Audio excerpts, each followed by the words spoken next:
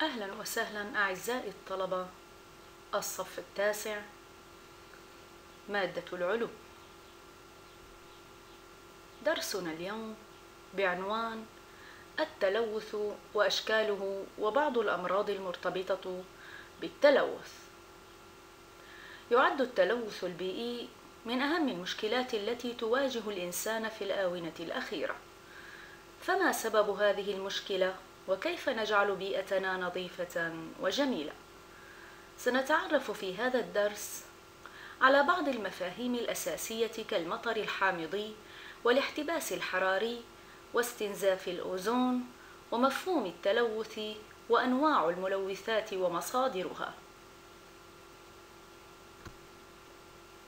نبدأ بالتعرف على معنى كلمة التلوث. يعد تلوث الهواء والمياه من أكثر المشكلات في عصرنا الحاضر. فما مصادر تلوث الهواء وما الأخطار الناجمة عن هذا التلوث؟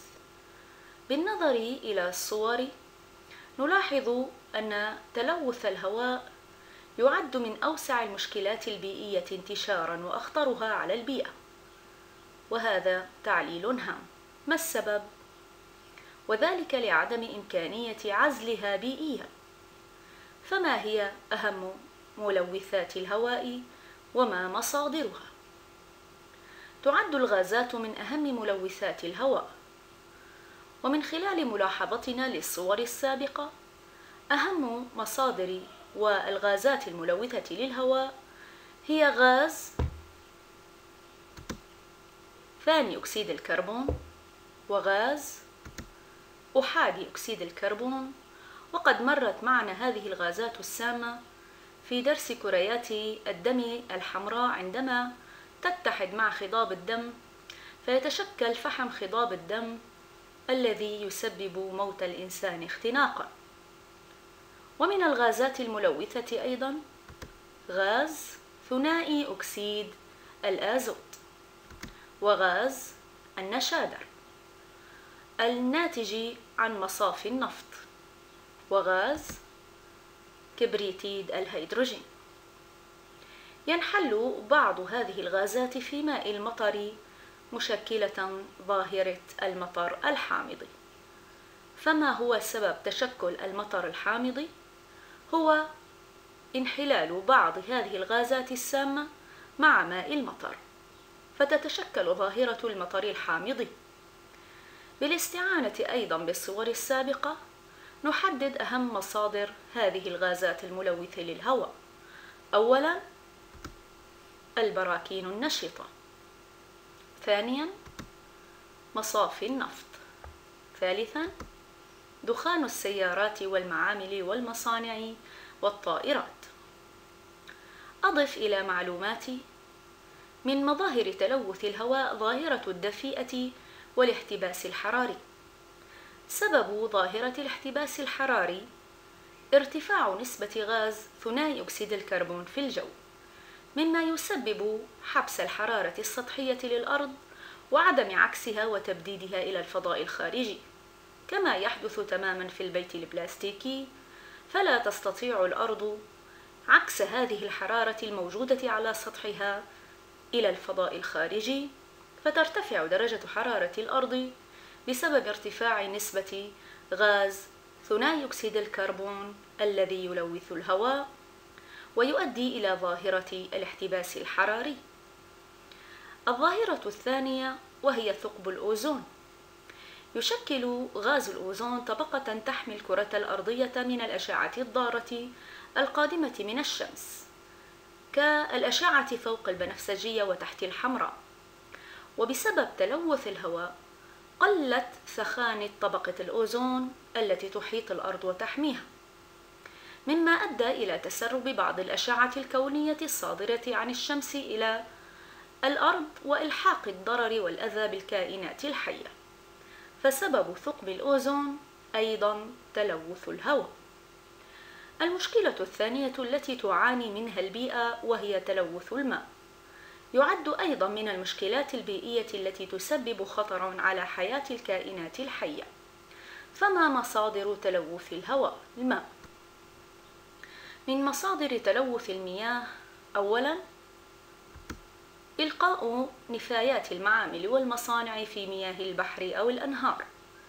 ثانياً غرق ناقلات النفط أو إلقاء نفاياتها في البحار والمحيطات.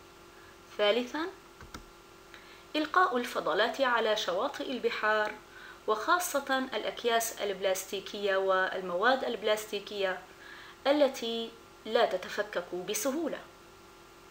أضف إلى معلوماتي أن هناك أمراضا تتأثر بظاهرة تلوث الهواء ومنها بعض الأمراض التنفسية كالربو وأمراض أخرى كالتهاب ملتحمة العين تتأثر بتلوث الهواء.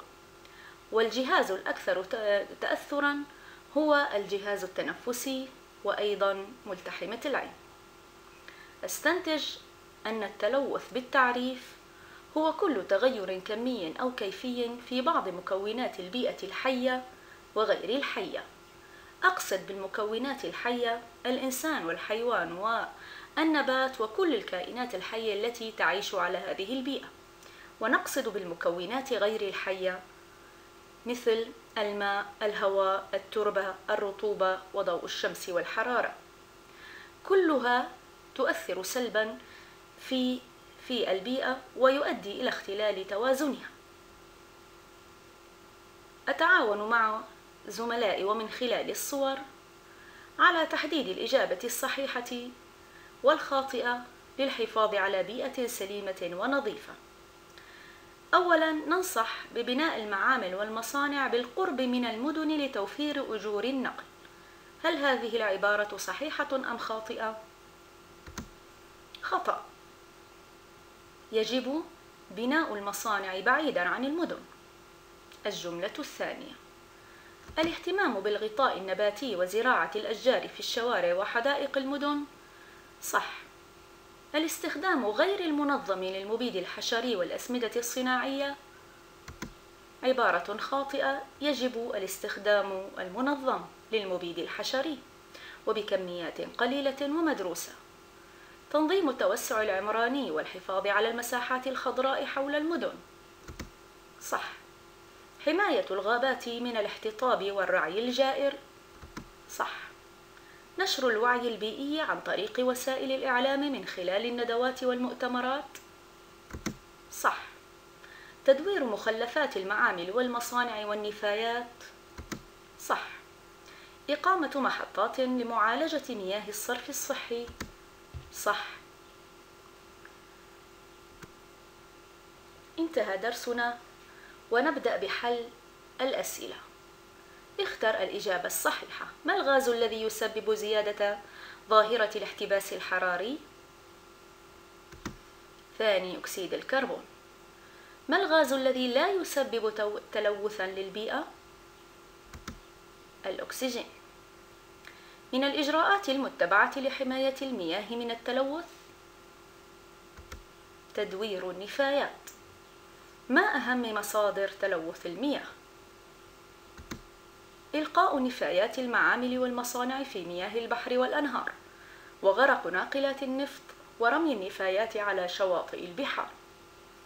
أفسر علميا كل من العبارات الآتية. يعد تلوث الهواء من أخطر أنواع التلوث. ما السبب؟ لعدم إمكانية عزل هذه الظاهرة بيئيا. لماذا يتشكل المطر الحامضي؟ بسبب اتحاد الغازات السامة والضارة مع ماء المطر فيتشكل المطر الحامضي لماذا ننصح دائما بزراعة الأشجار والنباتات ضمن الحدائق والشوارع؟ لتنقية الجو من غاز ثنائي أكسيد الكربون وإعطاء البيئة والجو غاز الأكسجين لماذا ننصح بتنظيم وترشيد الرعي؟ لحماية الغابات والغطاء النباتي ألاحظ وأبين السلوك الذي قام به أحد الركاب في السيارة وهو رمي النفايات من خلال السيارة وهذا تصرف خاطئ. أجب بكلمة صح أم خطأ. التخلص من دخان المصانع يكون بإذابته في مياه الأنهار والبحار. غلط. مياه الصرف الصحي يمكن معالجتها وتدويرها واستخدامها في الري. صح. تعد مصانع الأسمدة الأزوتية مصدرا أساسيا لغاز النشادر أو الأمونيا. صح. من أكثر ملوثات البحر خطورة هي ناقلات النفط. صح. يجب زراعة الأشجار على جانبي الطرقات. صح. انتهى من درس اليوم وهو بعنوان التلوث. شكرا لاستماعكم أعزائي الطلبة.